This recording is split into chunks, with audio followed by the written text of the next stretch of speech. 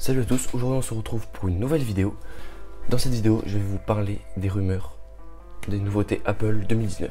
Donc je commencerai par vous parler de l'iPhone 11 ou un autre nom, mais pour l'instant c'est iPhone 11. Je parlerai ensuite peut-être une mise à jour sur l'iPod Touch. Aussi, euh, cette année, il y a sans doute l'arrivée enfin du AirPower et des AirPods 2. Et peut-être je finirai par, enfin je finirai sûrement par vous parler peut-être du MacBook Pro qui aura peut-être une mise à jour, mais peut-être en 2019 ou 2020.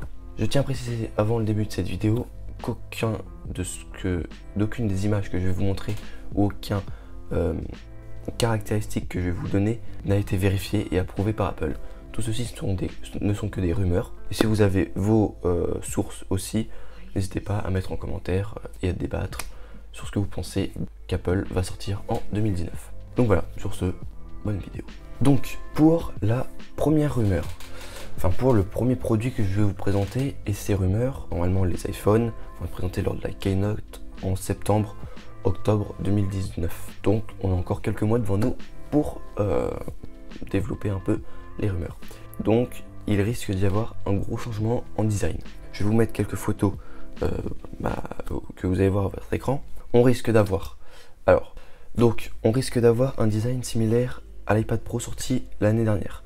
Donc un iPad euh, avec un peu un design qui rappelle le 5S, donc avec, des, avec un côté un peu moins arrondi que bah, les iPhones ou, euh, ou, les, ou ça. Donc on aura plus côté arrondi. On va commencer avec les iPhones. Donc euh, Apple devrait nous dévoiler ses, ses, nouveaux iPhones en septembre et ou octobre 2019.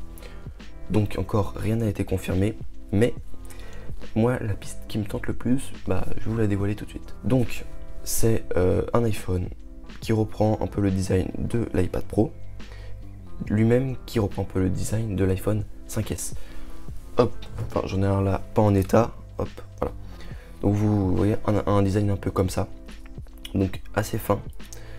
Euh, donc là, au lieu d'aluminium, ça sera sans doute du verre. Enfin, ça sera surtout, sûrement du verre. Euh, on aura une finesse, je pense, comparable à celle de, ce qu'on avait, mais en plus grand. Alors là, il n'y a plus d'écran, mais bon, ça sera plus grand que ça. Donc on risque aussi d'avoir trois objectifs.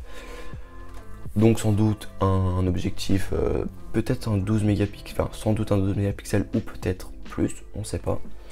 Donc un pour euh, faire des bokeh, pour un capteur 3D, on ne sait pas, on ne sait pas du tout. La nouvelle puce euh, A13, je crois que ça doit être la A13 Bionic normalement.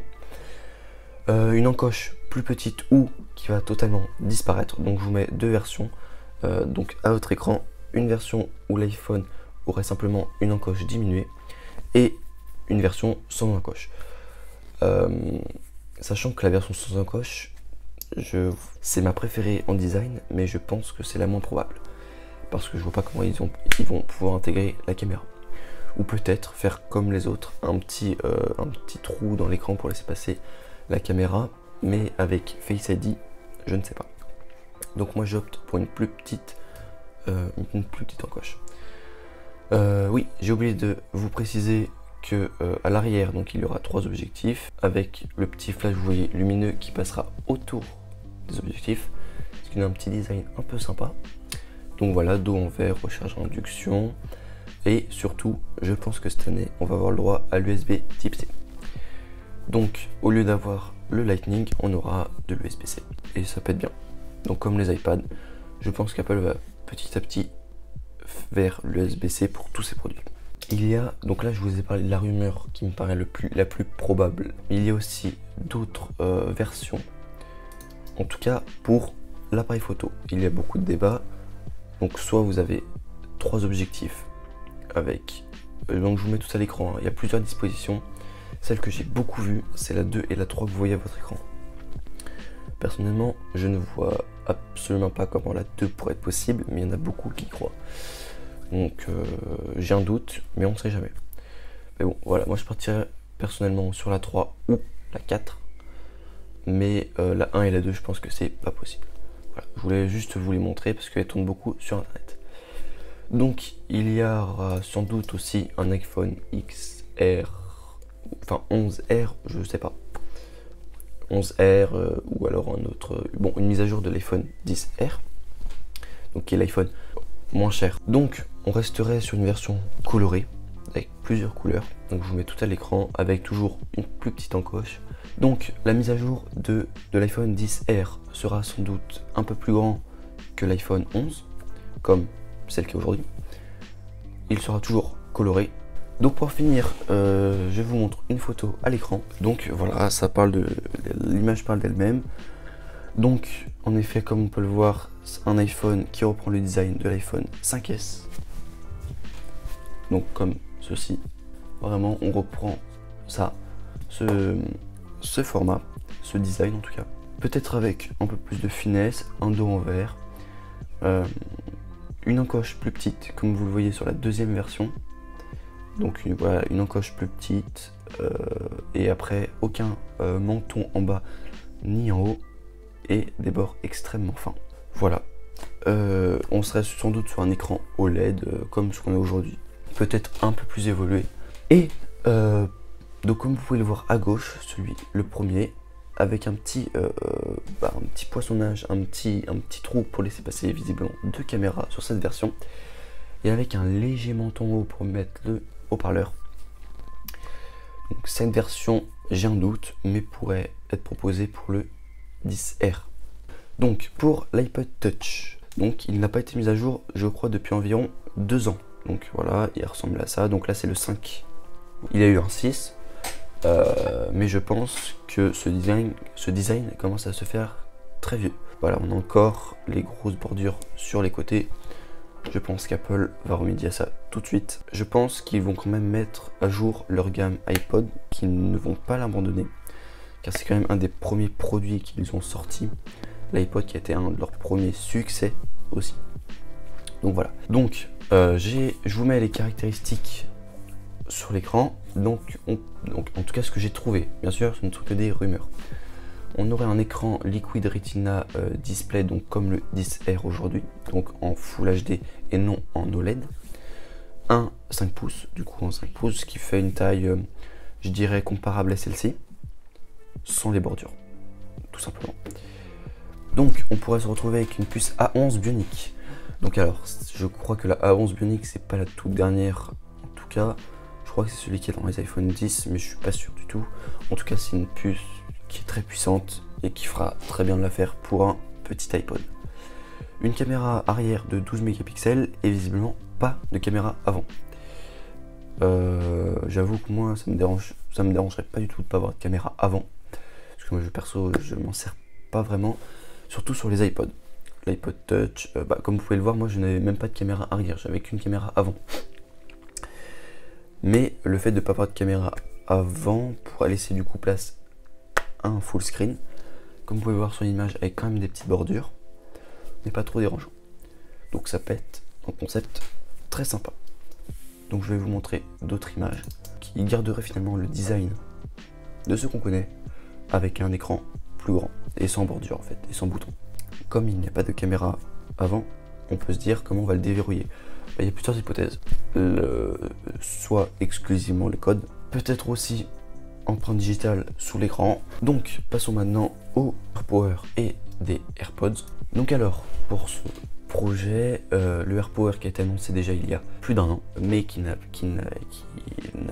jamais vu le jour par problème de refroidissement car il chauffait trop visiblement. Donc le AirPower c'est une recharge à induction pour ceux qui ne le savent pas, pouvait, enfin qui normalement peut contenir trois appareils différents et donc qui pourrait être compatible avec les AirPods 2. Donc je m'explique plus précisément. Donc le AirPower va être une recharge par induction compatible avec les derniers iPhones avec l'Apple Watch, donc juste en la posant elle charge et les AirPods 2. Donc pour les AirPods 2, à part la recharge par induction, peut-être plus grosse batterie, meilleur son, recharge rapide, voilà. Et peut-être USB-C en recharge et plus Lightning. Passons maintenant au MacBook Pro. Donc alors le concept du MacBook, du nouveau MacBook Pro est un peu flou. Je m'explique. Il y a beaucoup de rumeurs. On ne sait pas vraiment quand ça va sortir. Ça peut être cette année. Le MacBook Pro a été mis à jour il y a bah, en 2017. On est en 2019, ça devrait arriver cette année ou plus tard l'année prochaine. Et donc, pour ce concept, je vous en mets plusieurs à l'écran, il y a plusieurs hypothèses. La première, on a encore un Mac peut-être plus fin, toujours en alu, mais avec encore des bordures ultra fines et peut-être donc soit avec une petite encoche en haut ou alors comme l'iPad Pro intégré euh, bah, Face ID et tout dans une toute petite bordure sur les côtés. Je pense que ça sera celle-ci.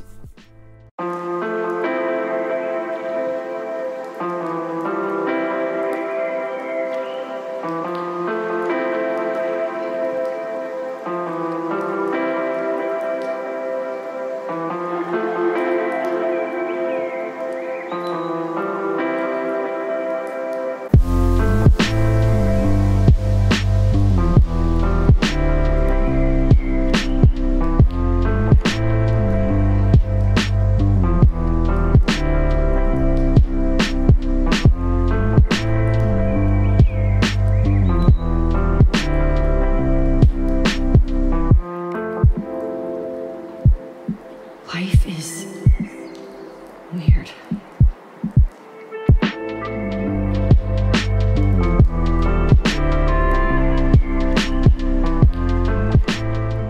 Après j'ai vu d'autres concepts avec des claviers ronds, euh, tactiles, je vous mets tout à l'écran. Je partirai sur la première hypothèse, mais je vous montre quand même.